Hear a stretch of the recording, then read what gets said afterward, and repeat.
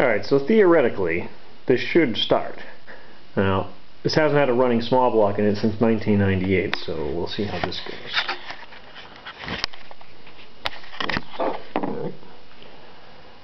And the lords of the small block smiled down upon Fastagai, for he had taken a pile of greasy parts and made into a larger, greasier pile of parts. And they said, let there be life!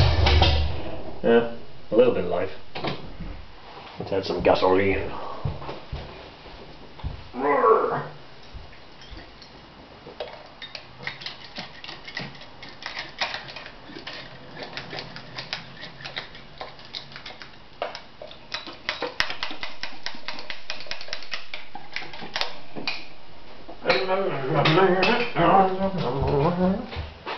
Right, fuck off, start up.